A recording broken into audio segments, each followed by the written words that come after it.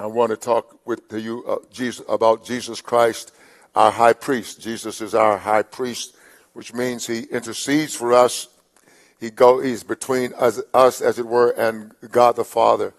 And he offers sacrifices. High, the high priest always offered sacrifices for the people, but Jesus offered himself. Uh, all the, the, the, high priests uh, in um, Israel offered animals, uh, innocent animals, maybe animals who weren't so willing. But Jesus was willing to give himself for us. And let's explore uh, John 17 as much as we have time to explore and see what God gives for you, what God has given for you. God has done something wonderful for you.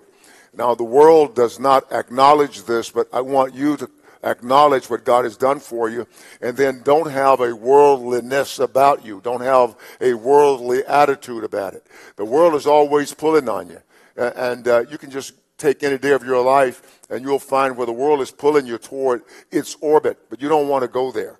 You, you want to stand firm and allow what Jesus Christ has done for you. And because he has done it, there is a continuation of that right now, every day in your life. You and I might do something for someone and it has an immediate end or an end uh, down the road. But what Jesus Christ does and says, it continues. Jesus, Jesus' love for you continues. It doesn't end when you stop acting right. You know, sometimes we're through with people when they don't do what we want them to do. You know, I'm talking about some of the ain'ts, I mean the saints here.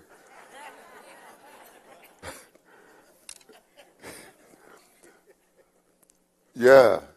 Let's look at, at John chapter 17, verse 1. It says, Jesus spoke these words, lifted up his eyes to heaven, and said, Now, when, when the writer John tells us Jesus spoke these words, lifted up his eyes to heaven and said, let's find out what he's talking about. So in order to do that, I have to go to John 16, uh, and let's look at verse, uh, verses 31 through 33.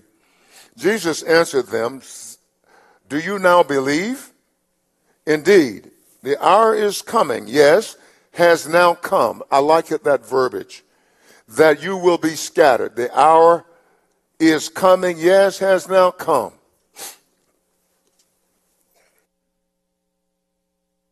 you will be scattered, each to his own, and leave me alone. Now, there's a lot I can say about being scattered, each to his own, because that is the time in which we are living. It's, it's just that those of us who are here have resisted that, being scattered to our own. I don't have time to get into that fully. But, but I want you to listen carefully. And Jesus says, and will leave me alone. And so the strategy of the devil is to, is to scatter you to your own that you might leave Jesus. Following your own will in your own way. But this is what Jesus says. And, and they will leave him alone. Uh, he said, and yet I am not alone. Even though you leave me, I am not alone. I love this because the Father is with me. Now, uh, you, it's important that you and I internalize the Father is with me. It's, it's important that we believe that also about us. You may feel lonely. You may feel rejected. You may feel like people haven't treated you right. And perhaps they have not. But Jesus is with you and the Father is with you. And when you have the Holy Spirit of God, that means the Father and the Son are with you. Listen, these things I have spoken to you, that in me you may have peace. So what Jesus is saying, don't look for peace in the world system. Don't look for peace there. He says, Your peace is found in me. And so that means the restoring of that which has been broken is found, put together again in Christ. And that, that peace is the word Irene, Irene, or Irene, we'd say. All right. In the world, you will have tribulation. So what is he, he is saying to the disciples and thus to us that in the world you will have tribulations. Where did we get this thing from? I don't know what's happening. Where did we get that from? When I would go home as a boy, go home and say something uh, nutty, my dad would ask, where do you get that from, son? And, and he said, I know you didn't get that here. Where have you been? That's true, but, but dad wasn't asking for information. Dad was teaching me, and, and if I didn't straighten up, he said, he'd always say, straighten up and fly right, son. And so if I didn't straighten up, I was going to fly wrongly.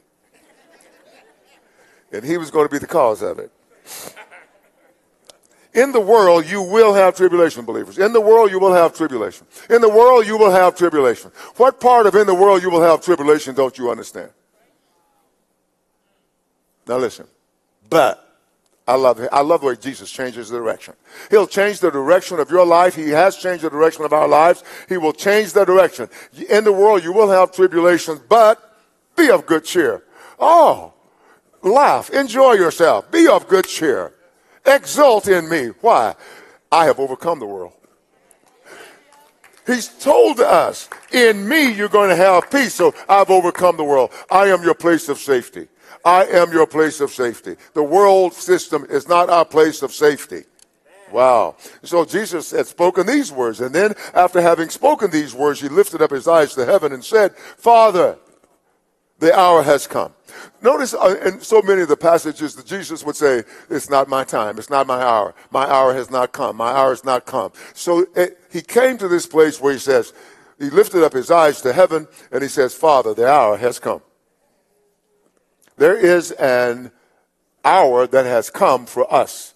And I believe that this is a time, and uh, we don't have time to fully explore it, but I believe our hour has come. I, I believe the hour of this fellowship has come. I believe that your personal hour has come. And this is what Jesus is saying to us today. The hour has come. Glorify your son. Magnify your son. Put a spotlight on your son. Honor your son. That your son may do the same. Glorify you. So our responsibility is to do for God what he has done for us. It, it doesn't mean that God, now God is not sitting up there saying, I want y'all to bless me now. I want you to glorify me, baby. No, he's not doing that. God is not a needy God. But our responsibility is to give back to God in kind what he has given to us. Amen. Amen. Amen. And so he says here, uh, as you have given him, the Son, Jesus, authority over all flesh. This is the Jesus we serve. Let's don't stop serving Jesus for other, other things, other stuff. Doesn't matter how much it glitters, it's fool's gold. It's called iron pyrite. So don't go for that which glitters. Don't go for that which makes you feel okay uh, uh for the short term. He says, as you have given him authority over all flesh, that he should, now listen, God the Father, Jehovah, Yahweh, gave Jesus authority over all flesh. That means if Jesus says you're a crispy critter, that's it. he gave authority over all flesh. Now notice what he says, that he, Jesus, should give eternal life to as many as you have given him. Why should we forsake the eternal for the temporary? No, don't ever forsake the eternal for the temporal or the temporary. He gave, he gave him authority over all flesh that Jesus should give eternal life to as many as you have given him. And, uh, don't you love the way God speaks, right? And this is eternal life and this is eternal life. What is eternal life? Well, it's this, it's that. He said, no, let me tell you, this is eternal life. That they may know you, the only true God, and Jesus Christ whom he sent. So it's not complicated. You don't need a, a, a, a degree in nuclear engineering. Two things. Know God. Know the Son. This is eternal life. The Father gave Christ authority over all flesh that Christ should give eternal life to as many as the Father had given him. And this is eternal life, he's saying. And now let me uh, sort of reiterate that and, and sort of bring it down to where we know, to what we understand. It is knowing God, the Father, and the Son intimately. It's a knowing. Now, now don't, don't go crazy here, but it's like knowing, it's like when Adam knew Eve. They became one flesh. When he came together with his wife, Eve, they became one flesh. So God says, I want to be one with you. I don't want to be here and you're over there. I want to be one with you. Now, notice what this says. This, this, this makes you want to shout, right? It makes you want to shout. I think somebody uh, composed a song like that old bad rascal did. It makes you want to shout or something. But he had probably grown up in church. Verse 4 says, now listen, I want you to hold that because God wants you to know him intimately. God has an intimate relationship with us through Christ.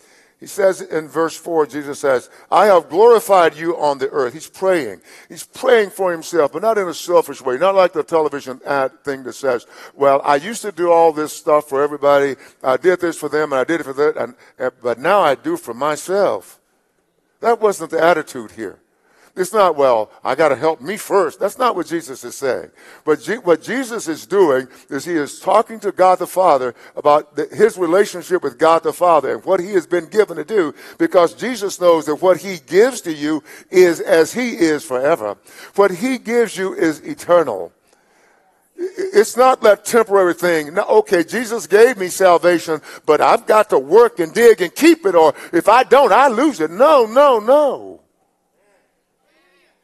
What Jesus did for you is eternal. What Jesus did for you is forever. And this is what this prayer is about. Jesus is giving you some forever. Hallelujah.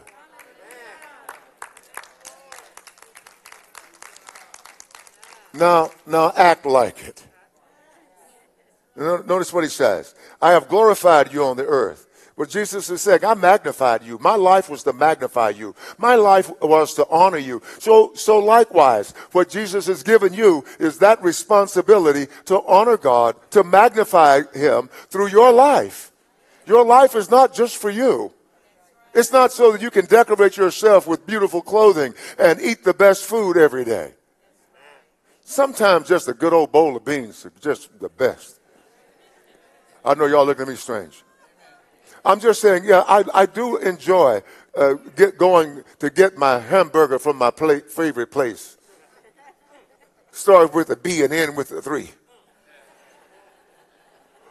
I love going to get my Bubba's 33. I love getting the best steak that I can afford. Go to Texas Roadhouse or, or go to the Longhorn. I, I love to get that. But a good bowl of beans sometimes beats them all. I'm just saying life is not just so you can, you can, you know, you know, dine yourself, you know. You know, I, heard a preacher say one time, he says, Paul Buffett said he buffeted himself. He didn't say he buffets himself.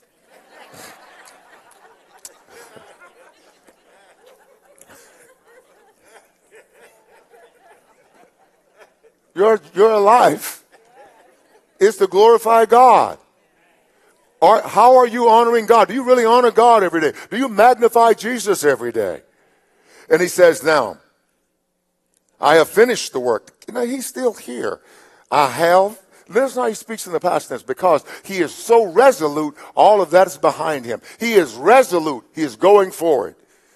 I have glorified you on the earth. I have finished the work. I've magnified. That's what he's saying. I've, glor- I've magnified you on the earth. I have finished the work you have given me to do. And now, oh Father, glorify me, magnify me together with yourself, honor me with yourself, with the glory which I had with you before the world was. And what Jesus is not saying is, we haven't had this. What Jesus is saying is, I'm going to now personally uh, be advanced into your presence. I'm going to bring my my glorified human body into your presence a place that no human had ever gone before. This is what awaits us because what Jesus was praying about himself, he is now given to you.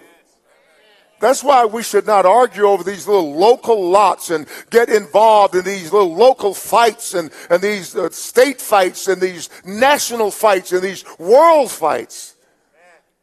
We don't get involved in that stuff. Not to the degree that we do.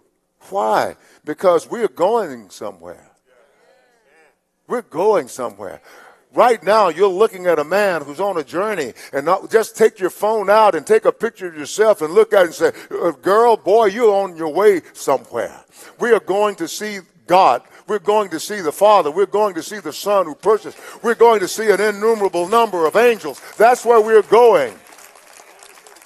Our high priest has gone before us. He has interceded for us. He prayed for us. Hallelujah. So let's don't get all involved, overly involved in this stuff. And now, now, now he says, he says here, um, as he prays for his disciples, I have manifested your name to the men whom you have given me out of the world. So you are here. You were brought out of that system of death. God gave you to Jesus out of the system of death. You, all of us were perishing. We were dying, dead men, dead women, walking, but dying. And God says, Take this.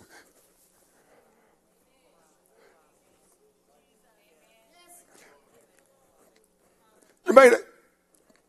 It might seem unfair because the boy that I was playing with, I was chosen, he was left. The kids I ran around with in my neighborhood, I was taken they were left. But it's not unfair. It's God's right to choose whomever He wills. He is the only one who makes a righteous choice, not based on how good you were, but how good He was and is.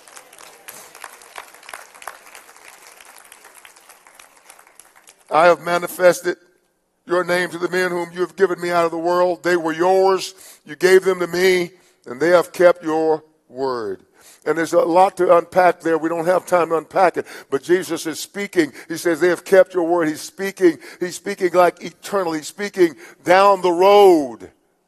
Even right now, he looks at, at a Peter who is, who is going to backslide for a while. He, he, is looking um, at uh, uh, James and John who are going to run like scared rabbits. But he can speak because of who he is and, and what he has done for us. He can speak based on the efficacy of his own blood and his life given for us. He can speak on it. I've given them your words. I've given them words of God. Can you imagine uh, having words of God to speak? He has given us words that came from heaven to speak. Words of God. That's why you don't sound like the world. You shouldn't when you find yourself using some of the words, preferred words. Que lástima. What a pity. Que vergüenza. What a shame. Let's continue to look at this. I love this. This is Jesus, our high priest, praying for us. You know, he's interceding for us. here's God the Father's great person, God the Father. And there, here we are back there, little feeble ones, and he's here in between. And that's what he did on the cross. He says, Father, no, let me hang up for him. He died for us. He died as us to give us eternal salvation. Listen what he says. Now they have known that all things which you have given me are from you, and I have given to them the words again which you have given me, and they have received them. Have you received them? And they have known surely that I came forth from you, and they have believed that you sent me. Do you believe that God the Father sent him? This is crucial. And then he says, I pray for them. I do not pray for the world, but I pray for those whom you've given me, for they are yours and all mine are yours, and yours are mine, and I am glorified in them. I am manifested in them. I am honored in them. I take that very seriously. Do you take it seriously that Jesus says, I am magnified in them? I'm made known in them. I am honored in them. So we should never, ever risk bringing dishonor to the name of Jesus. Let me just take a minute here. I talked about, I talked earlier about so many Christians uh, somewhere in this earlier message how if you can ask Christians, hey, what is your vision? And we have a multiplicity of visions. You, you notice that. You know, we got a vision, oh, I got vision for the youth of, of America. No, no, no, no. What about the church? Oh, I, have got a, a, vision for, for relationships. I've got a vision for marriage. Uh, I've got a vision for this or that. That's, that's the way Christians are. Uh, I've got a vision for bringing more teaching. I've got a vision for uh, representing us in Congress. Or I, I don't like it. A number of years ago, the Lord gave me a vision and that was this. And I, when I was, I was reading in Habakkuk chapter 2, I was reading in Habakkuk chapter 2, and it was as though, I know this may sound strange to you, it was as though God wrote it for me. When I read it, it says, Habakkuk was, was talking about the Lord. He says, he says that, that, uh, uh, that the knowledge, his goal was the knowledge of the glory of the Lord would cover the earth as the waters cover the sea. And so I read that and I thought, that's for me.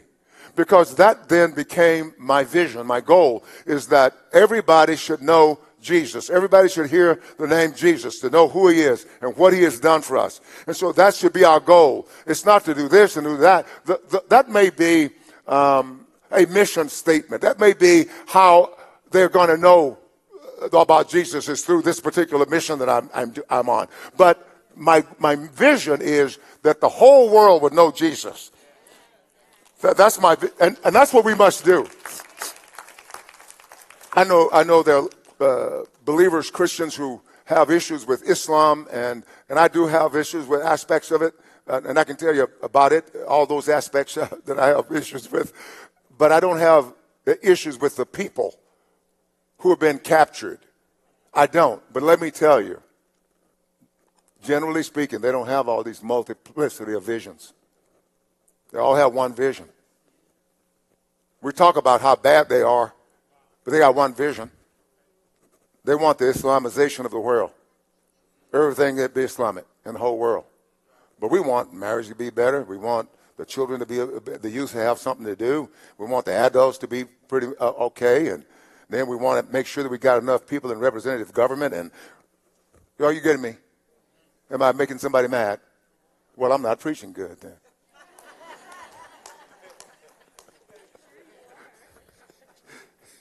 Are you still with me? Do you love me? Come on. So Jesus was interceding for something specific. He says, Now I'm no longer in the world. Listen to his language. I am not no longer in the world, but these are in the world. And I come to you, Holy Father. Keep through your name those whom you have given me, that they may be one. Listen, as we are. Can you imagine? Can, you know, can you imagine the, the audacity of this kind of love? Can you imagine the audacity of this kind of praying?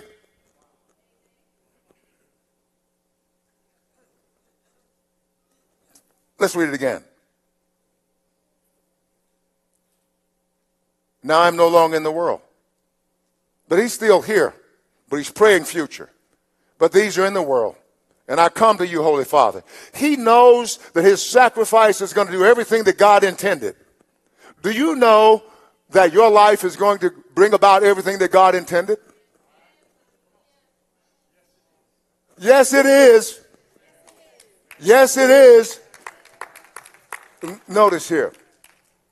Notice here. Holy Father, keep through your name those whom you have given me. Or, or he's, it can be translated, keep them through my name, the name you've given me. Keep them through this name. That is, the name of Jesus is not just a, name that we utter just because when we are in trouble or, or something. The name of Jesus is a keeping name, a name that will keep you from all the schemes and tricks of this world system. It will keep you on the, on the, the right path. Now, notice here. While I was with them in the world, I kept them in your name, or I kept them through your name. Those whom you gave me I have kept, and none of them is lost except the son of perdition, that the scripture might be fulfilled. He said, The only one that is lost is Judas. But the rest of them I have kept. God is keeping you. That's the prayer that God has already uttered. So stop working against the prayer of Jesus. Just live it out. Wow. And let's live it out in difficult times. In difficult times. This is what, let me finish a, a couple of things and then we're going to go somewhere else. He says, But now I come to you, and these things I speak in the world, that they may have my joy fulfilled in themselves. So what Jesus is saying here is he's giving us immeasurable joy and, and he wants it to be fulfilled, find a home in you. So that no matter what goes on in your life, you're okay. I have given them your words. He says it again. I have given them your word and the world has hated them because they are not of the world just as I am not of the world. Wow. Now notice here. I want to I want to go back uh, to a little part of verse 11 where he says, You have, Holy Father, keep through your name those whom you have given me, that they may be one as we are. And then he says, I have given them your word, and the world has hated them. I've always wanted everybody to like me. I don't know about you. I've wanted everybody to like me, but everybody doesn't like me. It was a little traumatic when I realized that so many people didn't like me, even men of, of the clergy didn't like me. I thought they did. I wanted them to. But you know who I want to love me and like me more? Is Jesus Christ.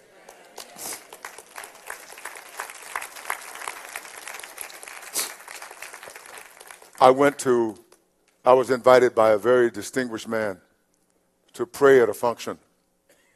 And I, he, was, he was a good man. I liked this man, but he was, he was uh, Muslim by, by, let's say by birth. He had always been very, very kind to me. And so I, I know how the enemy is and how the enemy wants to make you shrink back. You know, like those of you who are godly and you go on a job, you got a lot of ungodly men, and you participate so you'll fit in. I don't want to fit in. I want to be just as much as a, maybe an outlier in a sense as Christ was. He didn't fit in. He came to his own, his own didn't receive him. But to those who did receive him, he, he gave, they, he gave them the authority to become sons of God. And that's where we ought to be. I went to this, this function he had invited me to, and he, he wanted me to pray. And generally, the clergy has a reputation of praying polite prayers. And so on the way over, I was asking Jesus, and I've told you the story at least twice. I was on the way and I said, Lord, don't, don't let me get over there and shrink back and, and not mention Jesus, my Savior. And I kept saying that on the way over. And when I got over, that's all I said almost. I stood up and I just, I, I didn't, I wanted Holy Spirit, don't let me shrink back. And I, I wanted the man to like me. I wanted him to really continue this relationship. It was a very good one. But when I stood up, I said, Jesus, I said, Oof and I started to say, uh, uh, Jesus, uh, Lord, I come to you in the name of Jesus. And, and I mentioned Jesus, I can't tell you how many, seven, eight, nine, ten times. And I did, I did mention the name of Jesus. But let me say, I wanted to mention the name of Jesus, but I didn't want it to look like I was beating him with the name of Jesus. But this is what the Bible says. He has given us his word. He has given us a platform. He is giving us something to say. He is giving us something to do we must do it. And we must not look for the world. He says the world has hated us. I wonder if the world hates you. Does the world find an affinity with you? Does the world find it with me? Am I accepted in the world system? When they're doing their things, do they like me and invite me? No, they don't invite me. Do they invite you? Are you comfortable there? Do you say, I'm going to behave when you're there? What do you call that? Jesus said in John 7 7, the world cannot hate you to his brothers, but it hates me because I testify of its works. That I testify of it that its works are evil. Do you? Do you? This is what Jesus says in 15. I do not pray that you should take them out of the world, but that you should keep them from the evil one. So Jesus has not taken you out of the world, but he, he wants to keep you from the evil one. He wants to establish you and guard you from the evil one. He wants to deliver you from every evil work and preserve you for his heavenly kingdom. This is what he says about his disciples. They are not of the world, just as I am not of the world. Sanctify them by your truth. Your word is truth. And he says, You are from beneath, I'm from above. You're of this world, I'm not of this world. And he says, Lord, make them like us, Father. This is my prayer for you, and that you will be strong in the Lord and in the power of his might. I bless you in the name of Jesus, and we're going to sing, and I'll come back and give you an invitation, and then we'll let you go out after the rain stops.